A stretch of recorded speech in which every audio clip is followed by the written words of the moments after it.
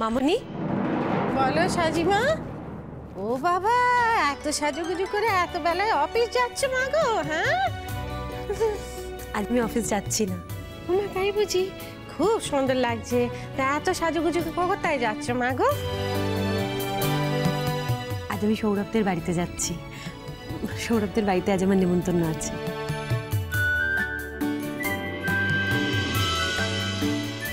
ওরে বাবরে আবার দুটিতে মিলমিশ হয়ে গেছে হ্যাঁ?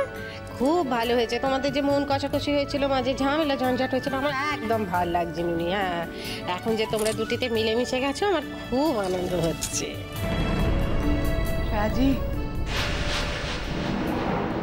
সৌরভের সাথে বিয়ের দিনটা ঠিক করে ফেলে এবার। এমনিতেই শরীর ভালো নেই আমার।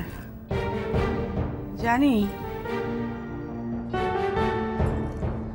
এবার আমি আমার আমার দায়িত্ব আমি শেষ করতে চাই।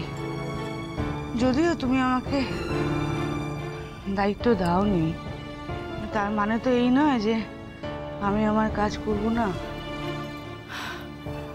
হাজার হোক, দশ মাস, দশ দিন গর্ভে ধারণ করে তোমার জন্ম দিয়েছি, মা। তুমি দায়িত্ব না দিলেও আমার প্রাণ থাকতে আমি আমার সব কাজ পালন করব। অমন করে কথা কেন কইছিস লো ছুটকি হ্যাঁ? তোর ছেলে মেয়ে, তোর স্বামী সব কিছু তো তোরই, বল দেখিনি হ্যাঁ?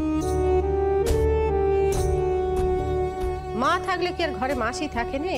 নাকি মা থাকলে আত্মীয় স্বজনরা কেউ কিছু করে নেকো আমাকে সেরকমই কিছু ধরে নে না হ্যাঁ? পরিচয় সেরকমই দিবি। যতই আমি ছেলে মেয়ে মানুষ করে থাকি না কেন আমাকে বলতেই হবে আমার ছেলে মেয়ের মতো। কোনো ছেলে মেয়েকে তো আর পরিচয় দেবে না যে আমি মা হই।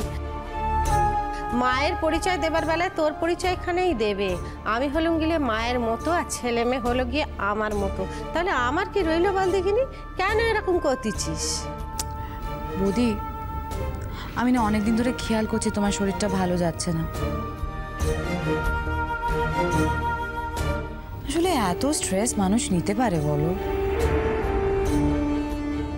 তোমার শরীরটা খারাপ হলে তুমি ডাক্তার দেখাচ্ছ না কেন? তুমি তো কথাটা বলে দিলে সাজি।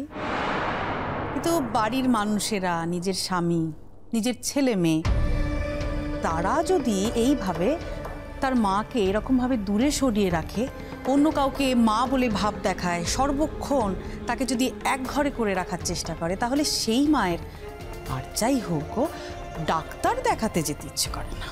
তোমরা তো মাকে মন দিয়েছিলে।